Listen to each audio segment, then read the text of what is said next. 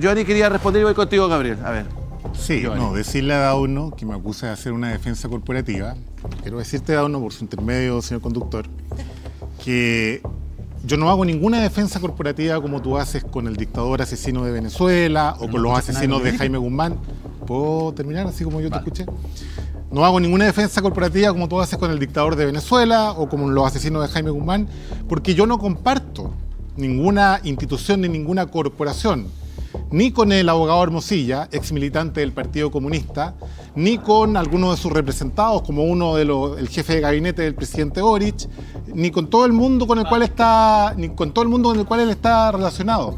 Y yo no tengo ningún interés en hacer ninguna defensa corporativa, pero tampoco me voy a unir a la horda del caiga quien caiga, porque la verdad es que eso es como una, es como una frase sin sentido. Yo lo único que intento, lo único que quiero, que intento, querido Dauno, es poner una, una pizca de seriedad en el circo romano. Nada más, una pizca de seriedad. a Gabriel en parte que dijo caiga quien caiga. No sé, yo te lo escuché Yo a ti, que pero bueno. que aquí no iba a caer casi nadie, porque es un tema No, no, estructural. yo quisiera, Oye, pero yo... yo Es lo que yo quisiera. la- Alan Parte, Alan Parte, Lo que- lo que yo decía, mira, yo creo que aquí se ratifica con el caso Hermosilla eh, que los dos hermanos eran absolutamente intocables.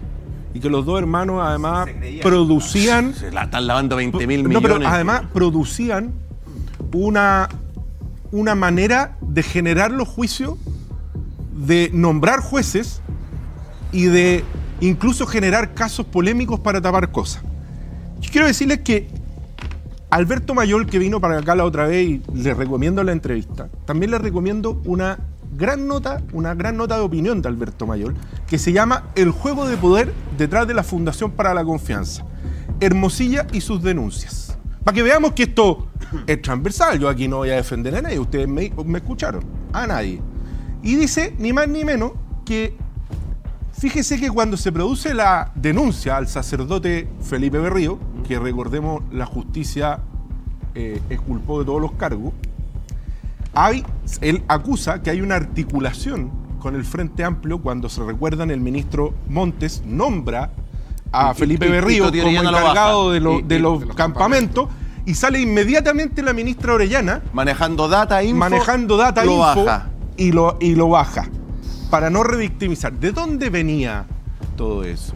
¿De dónde vienen estos casos? El, caso de el Cristian tele- el telefonazo. El telefonazo. para- Yo me pregunto, de verdad, si este era un tipo muy transversal, pero además de ser transversales los dos hermanos, lo que generaban estos hermanitos poderosos, y lo que siguen van a seguir generando, es estas bombas de humo, donde, donde en el fondo todos estamos mirando de lo que, de lo que para otro lado. Y ojo, que pueden Y, ir para acá. y que pueden, oye, Porque pueden hemos ir sido para los más acá. duros. ¿Ah? Porque Hemos hemos, sido los más yo duros. he sido el más Que- duro, que- que- probablemente. ¿Le van a ir sacar algo al emparte? No tengo nada. Oye, así los que- más duros, yo me acuerdo sa- saltó el caso Hermosilla, lo primero que dijo Pancho Ruego, esto es una operación política en contra de Andrés Chadwick.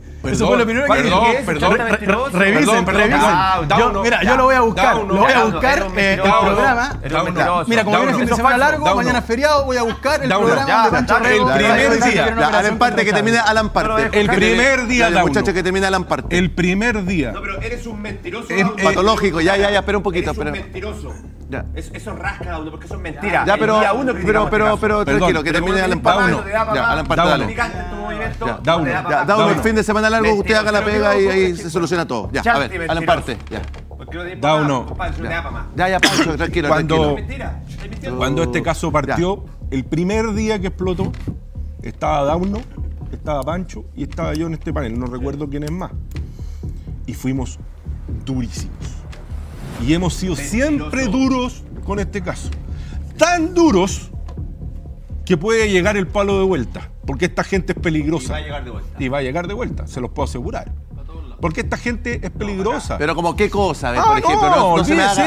¿Cómo qué? A ver. Perdón, mire. Un carpetada, ¿qué no le van a sacar? A ver. Mire, mire lo que pasa alrededor, mire lo que pasa con, con fundaciones, mire las acusaciones. Usted me dice que le quiere hacer un. No, si no a un- mí. Si- un- puede un ser a cualquiera. Puede ser a, Gabriel, puede ser a usted. Un te creo, a mí. Pu- Puede ser a usted. en este panel hemos sido durísimos con este No caso duro, desde durísimo. el día uno. Nunca nos ha temblado la voz en decir que esto es lo más asqueroso que hemos visto en política. Es más, en este panel yo leí cada uno de los mensajes de Daniel Sagüe con Luis Hermosilla y Leonardo Villaró. Yo los leí. Que un chanta como Da- Daudo Toro, un mentiroso como Daudo Toro, venga a decir que yo hice una defensa corporativa de Luis Hermosilla es porque eres un picante, Daudo Toro. Porque no te da para más, Daudo creo que Toro. la- Si la- encuentras un video donde yo he hecho una defensa de Luis Hermosilla, yo aquí mismo me retiro Oye, de no, pero solo- para decir una cosita porque cortita, que yo creo que es la- a ver, ¿qué cosa quiere La decir candidatura, la candidatura te tiene un poco sobregirado porque yo No, dije que tú no hiciste una me defensa de Luis Hermosilla. Tú hiciste una defensa de Andrés Chadwick y dijiste que estaban tratando de utilizar este caso para, para atacar a Andrés Chadwick. Me cargan los Y poco a poco se va a ir develando eh, Bueno, la verdad. usted- Pero eso decir una cosita corta. No, no, no, no, no, No, no, aguanta un.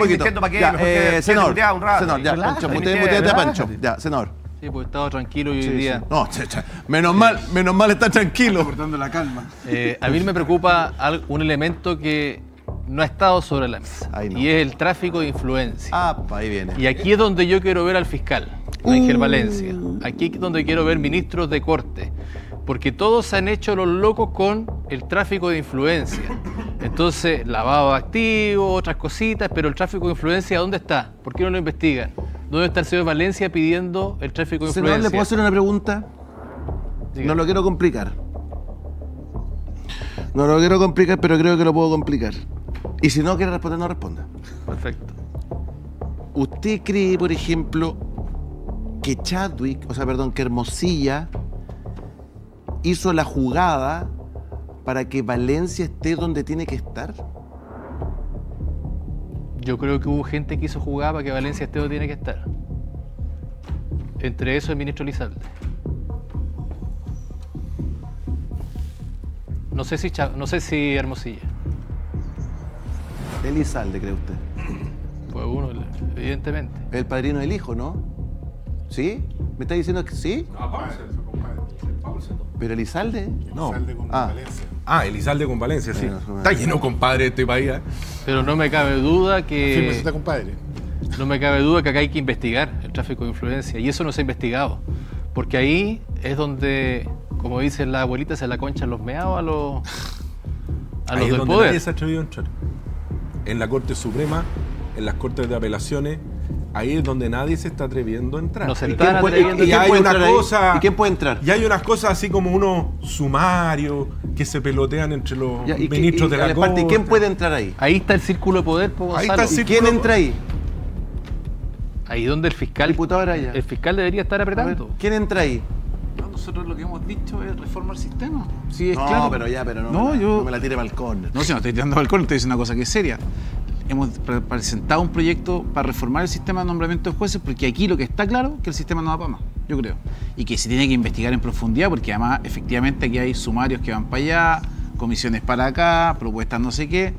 Yo en esto espero y tengo fe, quiero reivindicar lo que ha hecho la Fiscalía. Hay que tener pantalones para pedir audiencia para formalizar Hermosilla. Esa es la verdad. Y lo adelantó el Y- fiscal nacional. igual. Es más, Ahora, yo creo- yo en esto, Gonzalo, porque Diputado, yo yo creo creo que que estamos en un momento de mucha fragilidad institucional, aunque parece que está todo bien, estamos al borde. Aquí Esto está, pero. la- está, una- está que revienta. no, Entonces, digo, un equilibrio fiscal, precario. Un fiscal que viene y se sabe que aquí no hay intocables, porque además en este caso, a diferencia de lo que algunos dicen, sí hay WhatsApp que salieron. Acuérdense que estuvo el director nacional de la pedida de impresión preventiva a raíz de este caso. Entonces yo creo que yo creo que ya no está, ya no es que, que no va a pasar nada como dijo un, un entrevistador en la mañana, ya pasó. Y creo que esta señal que se va, yo espero que van a pedir la prisión preventiva y la prueba de fuego la va a tener el Poder Judicial. ¿La concede o no la concede? Jaime, te doy un punto. Mira, en, en toda Dice esta que confirmado Elizalde son padrinos. en, en- en toda esta arista, lógicamente tenemos Factor, caso, caso. Factor, tenemos el caso Audio, mal llamado cohecho, pero también hay una arista de designación de jueces. Entonces yo quiero refrescar un poco la memoria porque sí ha estado muy encima este caso. El año, entre el 2014 y el 2015, Jean-Pierre Matus fue propuesto para ser parte de la Corte Suprema. Y Antonio Uñoa Márquez fue propuesto para ser en la Corte de Apelaciones de Santiago, ambos el año 2021. Jean-Pierre ya venía de antes. Jean-Pierre había sido designado como abogado integrante de la Corte Suprema por Michelle Bachelet en su momento. Aquí voy con esto. En, en- en las designaciones siempre intervienen este pulpo en todos lados. En ese reportaje de CIPER, donde estamos hablando de dos ministros en particular, uno Corte Suprema y uno Corte de Apelaciones, ambos reconocieron los contactos con Luis Hermosilla. Y están las cuñas. Y están los reportajes. Yo los invito a revisar CIPER, rol de Hermosilla en la designación de jueces y se van a encontrar con un reconocimiento de ambos de que efectivamente uno dice incluso, sí, lo conocía, puse los antecedentes a disposición por la cercanía que tenía. Entonces, eso es parte de la investigación, hay reconocimiento. ¿Qué pasa después? Ministerio Público. Giovanni Calderón. No, yo fíjate que estaba viendo el, el chat de YouTube del programa y eh, Marco Yersun me parece que es el nombre, Marco Antonio Yersun Mancilla, dice, Giovanni, que, hay que tenemos que condenar la corrupción sin duda, Marco Antonio. Yo eso no, aquí no, entendámonos bien, digamos. Yo creo que acá quiero quedarme con la declaración del diputado Araya. Acá hay una, fragilidad institucional enorme, enorme, por todo lo que se ha dicho. Más allá de, lo vociferante que pueden ser algunos panelistas, es verdad eh, que, que acá, digamos, hay una, una red, ¿ah? una red que administraba Acá hay espacios un alto nivel de corrupción. que administraba espacios de poder, hay un alto nivel de corrupción Sí. sin duda, pero no solamente el tema de la corrupción, sino que además la debilidad de las instituciones frente a la respuesta a esa corrupción, que es lo que hoy día está en cuestión, porque hoy día todo el mundo dice, tiene que atreverse el Ministerio Público, qué va a pasar con los jueces, porque hay metido gente de la, de los supremos, o sea, acá hay, una cosa sistémica, y frente a esa cosa sistémica, y no quiero ponerme filosófico, digamos, pero adhiriéndome a lo que plantea el diputado Araya, frente a este problema sistémico, yo creo que la respuesta de la clase política debiera ser de mayor altura. O sea, est- estam- estamos contextos, digamos, en que tenemos un problema institucional profundo. ¿Pero qué? De respuesta, usted me dice, usted me dice la respuesta de la clase política, pero, pero si- al, al estilo que Sokimich, no sé. No. O, limpi- o- o es el gran momento de limpiar esta podredumbre. ¿Pero cómo? ¿Cómo? No sé, pues la pega tiene que porque- hacerla en el Parlamento, No, por eso te digo, por eso que la clase política. Porque, mira, yo quiero dar un ejemplo porque- concreto y quiero hacer un reconocimiento. porque limpiar. Déjame, diputado, déjame terminar. al- eh, diputado, Giovanni, déjame terminar. que termine Giovanni, voy con el Déjame terminar. Mira, eh, eh, limpiar la podredumbre no puede significar tener, eh, tener eh, eh, atisbos autoritarios. ¿ah? Hay, hay gente que piensa, no, es que esto se resuelve con un golpe militar. No, señores. No, no, no. Tampoco se resuelve con populistas. ¿ah? Tampoco se resuelve sin partidos. Esto se resuelve con institucionalidad, con reglas del juego, con sanciones, Pero si los con partidos están en, penas, los con partidos están en la pasada, pues, Giovanni. Mm, Es que eso es de generalizar demasiado, eh, eh, Gonzalo, y hay que ser serio. En, en los No es partidos, real. En los partidos políticos hay de todo. Hay de todo, como en todas las instituciones, como en todas las familias. Entonces tú estás condenando la institución, es como la iglesia. Tú estás condenando la religión por lo que hacen ciertos hombres que participan de esa religión. Entonces yo creo que tenemos que empezar a ser más serios. De- Lo digo, lo digo de verdad. Giovanni, mira, a separar la paja del trigo y a, le- y a levantar, yo digamos, a, recuperar el país serio que teníamos hace Ah, 5 diputado. o 10 años atrás. Y una cosa concreta, el diputado del Partido Socialista, y aprovecho de reconocerlo, Daniel Manucheri y Daniel Chicardini, fueron a todas partes con el caso Hermosilla para que no se hundieran. Fueron portadas en diario, en televisión, en todos lados, y lo han perseguido. Yo creo que ellos dieron un buen ejemplo cómo hacerlo. Han hecho la pega ahí. Han hecho la pega. Ah, hubo una comisión investigadora, porque además la primera reacción de todos fue como bien tibia, y el tema es tan potente que... Ahora llegó a ni una cuestión. Pero por eso digo, yo valoro mucho lo que hicieron Daniel, Daniel y Daniela, de seguir con el tema, seguir con el tema. Yo creo que en la medida que este tema siga en espacios como estos, porque esto uno no lo ve en otros espacios, podemos decir que este caso está abierto y yo vuelvo a reivindicar lo que ha hecho el fiscal, yo no sé si fiscal... Jaime, o- te puedo hacer una pregunta. Tú eres diputado. Hermosilla se habla más de sin filtro que en el Congreso. Ahora, sí, pues. Sí, No, Ahora, estamos- Jaime, tú eres diputado. Jaime, tú A eres diputado. Eh, ustedes tienen la atribución constitucional de acusar constitucionalmente a ministros de la Corte Suprema. Ahí está, po. Si se descubre algo, tú- no le voy a preguntar a Karim porque puede ser jurado, entonces no, No puede responder. ¿Tú estarías dispuesto a presentar una Absolutamente. acusación? Absolutamente. Yo creo que Ah, la, no, te- la fragilidad institucional que no se nota porque nosotros estamos todos Que como esto hay que- tranquilos. que esto hay que limpiarlo. O sea, este en cualquier Esto hay que minuto. limpiarlo. No, sí hay que limpiarlo. Da No, uno en por cualquier qué ser- minuto. A ver, Carola, Carola. Bueno, lo que vemos hoy en día es que se está destapando la olla de algo que venía hace mucho tiempo. No es casualidad que la gente en la calle tiene mal valorado la política, Sí. porque la gente sabe que hay un tipo del maletín que se compra a los políticos. La gente sabe que hay empresas que le pagan a políticos para redactar leyes como la ley de pesca en Longueira, donde la copian y pegan según la conveniencia de ciertos sectores empresariales y que hay ciertos sectores políticos que están mucho más cercanos a esas malas prácticas, ¿ya?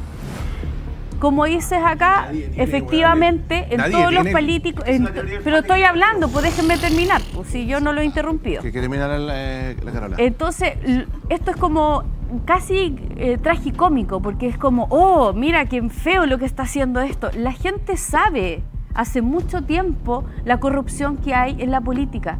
Los dineros, la- que las empresas financian ciertos partidos políticos, ciertos candidatos y los devuelven con favores. Por eso hoy en día la política está tan desprestigiada, por eso la gente no cree en la política, no cree en la democracia, porque sabe que hay un hombre del Hay un, maletín. hay un- hay un gran que es- él porcentaje no de lleva un parlamentarios que año, están cooptados. no lleva un año, ni dos, ni cinco operando. Lleva mucho más que eso. Y eso está comprobado. Y va a salir en la No, no, 30 investigación. segundos me paso al frente. Entonces, no, nos hagamos los sorprendidos.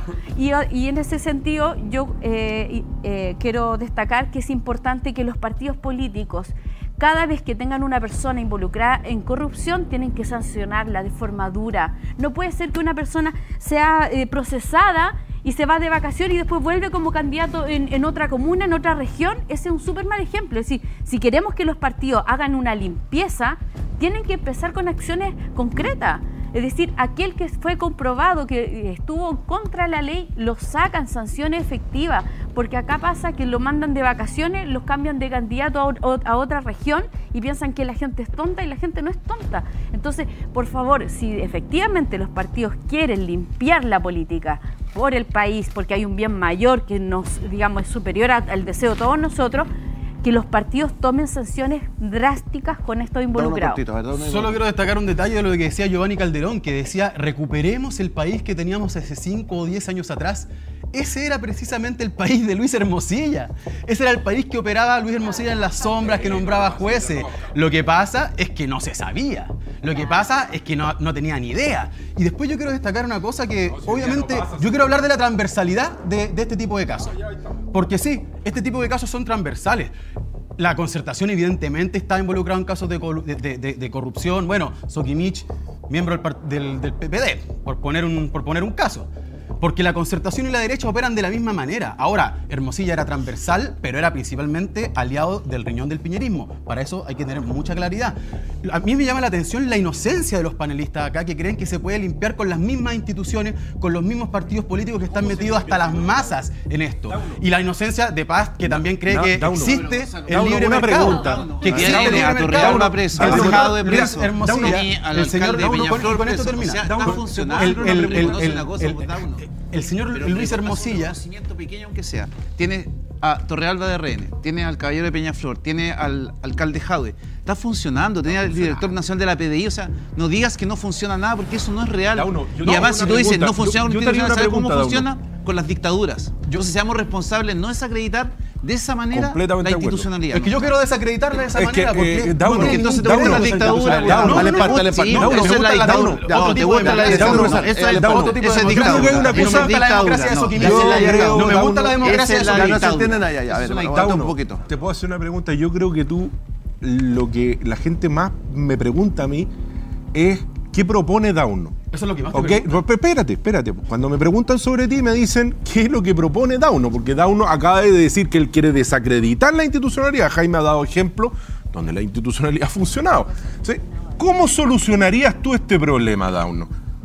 El de Hermosilla, para mí. No, no, no, ¿cómo lo cu- qué? Si tú fueras, si tú fueras, ¿cuáles son las medidas institucionales que Es tú que eso es lo brutal de este tipo de casos. Ya, pero dame una respuesta de qué es lo que harías. Chuta, pero estoy tratando de responder. Ya, dale, no, la par. responda con todo cariño. Este, este, este es el- el- lo brutal de este caso, que este tipo de funcionamiento, igual que el caso convenio, igual que la corrupción en las municipalidades, es inherente al Estado capitalista. Pero sigues hablando- Es inherente, la corrupción es inherente. comunista Pero no ¿cómo existe- se resuelve? Ah, no existe el- primero no existe el Estado No hay, comunista. no hay corrupción. O sea, todos los pero partidos. si Venezuela son- no es ni comunista, ni Todos los partidos son- Mira, Mira, el régimen que defiende Venezuela se A toda la no viste lo que dije al principio. A ver, muchachos, vamos de poco. Giovanni, ordenemos. Todos los partidos son corruptos menos el tuyo. Eso es básicamente. No, dije eso. Entonces, Hay otro- hay otros que acláramelo, nómbrame otro partido que no sea corrupto aparte del ¿Cómo tuyo. se resuelve, Dauno? Uno. Es que la pregunta Es que- es es que, que ese- tú me haces un diagnóstico una vez más. Porque Dauno es de esos doctores que hace diagnóstico, pero no mete nunca las manos ni pone el estetoscopio. ¿Ah? Entonces, No, no, yo te eh, pregunto, ¿cómo se soluciona este problema institucional? Si tú fueras diputado, por Sí, ejemplo. sí, sí, sí. ¿Ah? ¿Cómo Mira, lo solucionas? Yo sería muy claro en decir que mientras exista este Estado va a existir la corrupción, pero hay que tomar medidas concretas, como por ejemplo acabar con los salarios de gerente en el sector público, en las altas esferas del sector público, con los diputados que ganan como millonarios, los senadores que ganan como millonarios, la pega part-time de eh, Pancho Rego de siete dígitos, eh, el señor eh, Poduje que ganaba como gerente. Todos esos salarios se acaban, se acaban. Los jueces tienen que ganar igual que un trabajador calificado. Los fiscales ta- tiene que aumentar la corrupción que- con eso. Ah, no, porque claro, los salarios, los altos salarios garantizaban que no, había, no había corrupción. No, perdona, bueno, pero partir por eso, atacar a la casta política que representa a partidos empresariales. De esa manera, Ya, por ejemplo. Vamos al marketplace, muchachos, y a la vuelta nos metemos. Que este no, no lo manejo también. Lo he estado. Lo he estado entendiendo acá porque esto sucedió temprano. Venía con un ruidito hace días atrás de esta, de esta desvinculación de, de esta funcionaria de apellido Amor. Ah, Trending topic todo el día. Ahí está. Isabel Amor asegura que hay motivaciones políticas tras su salida del Cernamej, Cernamej y anuncia todas las acciones judiciales necesarias. A la vuelta nos metemos con eso para entender un poquito más qué está sucediendo con Amor.